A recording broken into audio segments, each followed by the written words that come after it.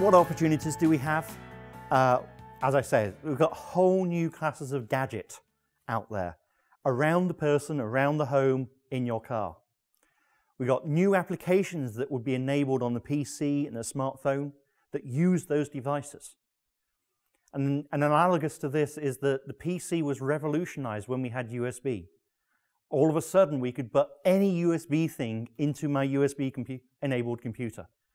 We now have Bluetooth in the smartphone.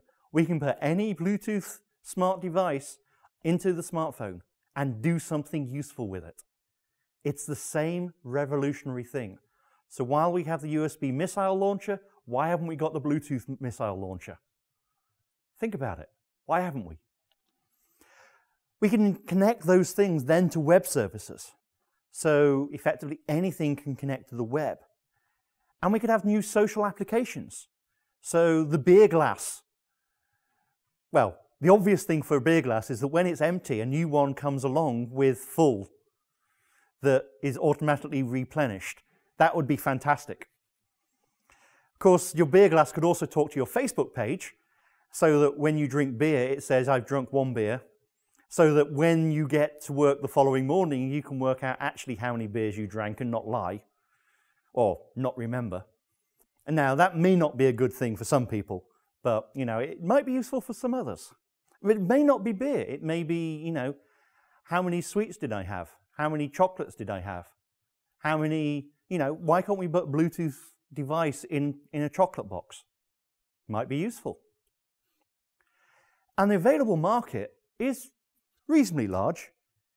You know, there's probably over 10 billion phones and apps out there that are available market. Smart energy, meters and displays, about a billion. So there's about half a billion homes on the planet. Um, home automation, white goods, and HVAC. You know, in the Western world, we have, you know, a washing machine, dishwasher, dryer, refrigerator, freezer. You know, that, that's four at a minimum. All of those will need Bluetooth Low Energy in so that you can check them, so the service guys can look at them. Health, well-being, sports and fitness, that's another 10 billion mark. If you go through all of these, there's quite a few billions of devices out there. It's quite a little bit of a market. That's quite exciting. And of course, we have a whole bunch of profiles to date that are available or in development. Uh, this is just a cross section. If you go to technical specifications adopted, you'll see an even bigger list. And we need gateways. Uh, we're working on gateways at the moment within the Bluetooth SIG in the Internet Working Group. Um, and the key to this is that the devices that support Bluetooth talk through the gateway and then out to the internet or the other way around. So effectively, the gateway is not part of Bluetooth. It's just a way of getting data from a device out through that gateway out to the internet. So let's take your um, refrigerator. Your refrigerator probably has a motor in it that is compressing some liquid that transfers heat from one part of the refrigerator to another part of the refrigerator. So if you transfer heat away from the food and out to the room, you're cooling the air in the refrigerator. That's how refrigerators work. What happens when that motor starts going wrong?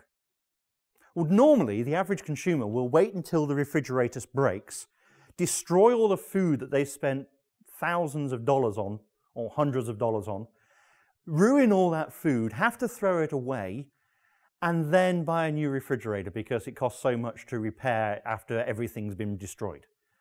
Of course, the alternative is that the refrigerator sends you an email to say, oh, by the way, my motor's going to break in the next three months. Perhaps you'd like to repair it now. Saving you hundreds of dollars in broken food, hundreds of dollars in time trying to find a new refrigerator that has the same Bluetooth low energy device in it. On all of that, all it needs is a gateway.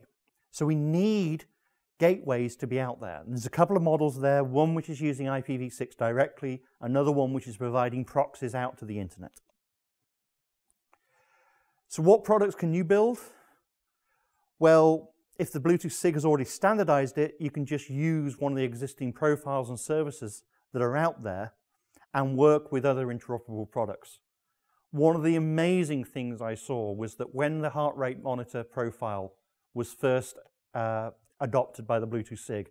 A week later, I went onto the iOS App Store to see how many apps were there that could work with that uh, heart rate monitor. 86 in a week. 86 apps. That's amazing. They'd only been adopted for a week, and 86 people had updated their apps to put Bluetooth Low Energy support in for heart rate monitors.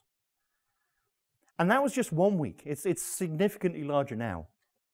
Of course, you can use the SIG Panorama tool to determine if there's any new profiles that are in development. You can look at the new work proposals.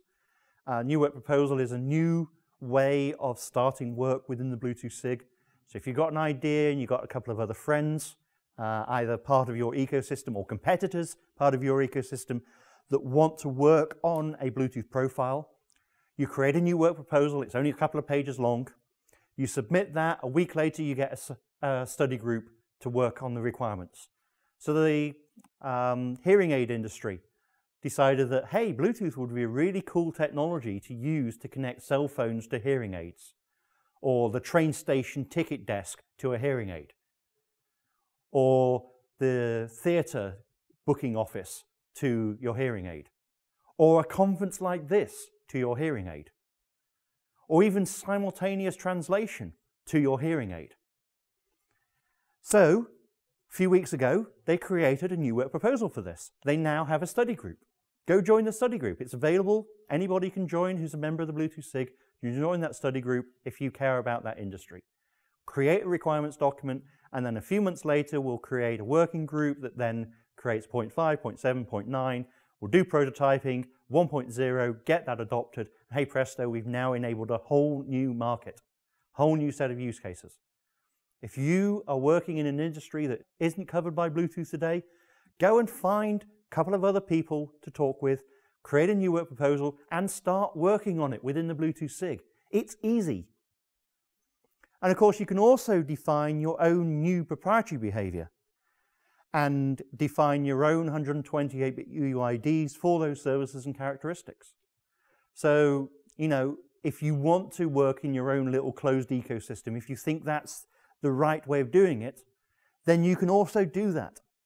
I would recommend that you try and create an interoperable pro profile within the Bluetooth SIG.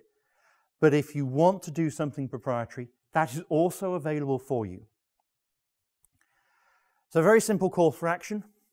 Learn about Bluetooth Low Energy. It's fantastic technology. I would say that I wrote it.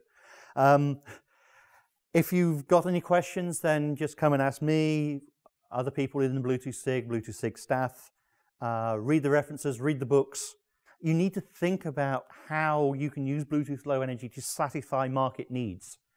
Don't try and use Bluetooth Low Energy to try and satisfy something that already uses wireless. The people who are going to make a lot of money in this market are going to think about new ways of using wireless technology for something that nobody would consider putting wireless technology in today. Nobody is talking about Wi-Fi in seats because Wi-Fi uses too much power. People will be thinking about putting low energy into seats for hotels and restaurants and anywhere else where they care about where people sit and how long they sit, etc., etc. Find partners to add the value. Bluetooth ecosystem is not just a few companies. 17,500 companies. From what we heard this morning, it's up to 20,000 companies by the end of this year. There will be people in the Bluetooth SIG who can help you and who, who are part of that ecosystem. So, for example, if you're developing a, let's say, a chair sensor, then there will be module manufacturers, there'll be stack providers, there'll be test equipment manufacturers, there'll probably even be chair manufacturers in the Bluetooth SIG. Go and find them. There are, there are uh, company directories in the Bluetooth SIG. If you're having trouble trying to find that, contact SIG staff, they will help you. And participate. If you want to be involved in the Bluetooth SIG, the best way of getting the most out of the Bluetooth SIG is to contribute to the Bluetooth SIG. Join study groups, join working groups, create new work proposals, work with other members. Yes, it does cost money to become an associate member, but then you can participate in all the technical work. You can get early access to those specifications.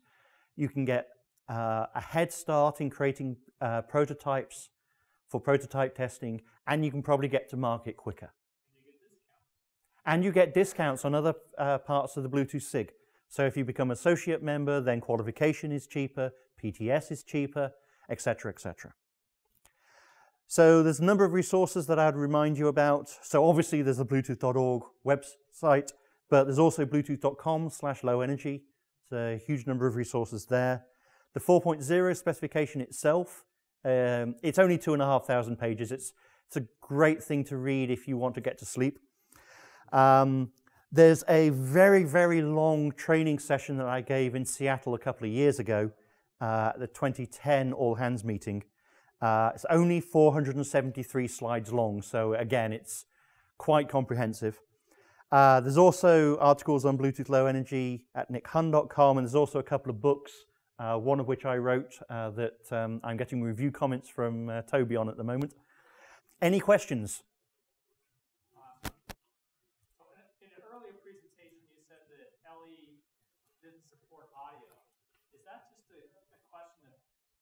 battery life would be significantly shorter if you tried to send 8,000 bytes per second? Uh, or is there some other technical limitation besides power uh, that, that prevents audio from being streamed across LE? So the question for those who didn't hear is about is is audio a technical limitation of the LE spec or is it something that uh, something else? Frankly, it wasn't something that we designed into low energy at the start. So it's not been designed for sending periodic data. Uh, so if you want to do audio, you either need to do uh, low latency synchronous or isochronous data transfers, which LE doesn't support, or you need to do very large uh, latency. So A2DP, for example, we're quite happy with 50 to 100 millisecond latency because you're, you're sending the data from a cell phone and if it takes 100 milliseconds to get across, you just think the OS is being a little slow. So in that respect, LE hasn't been designed for audio. I would point out, however, that there is a new work proposal as part of the um, hearing aid to do audio over LE. So that may require some core spec changes. Um, and the study group will be evaluating that and determining whether that is, is necessary or not. Okay, any last question? No, great. Okay, thank you very much.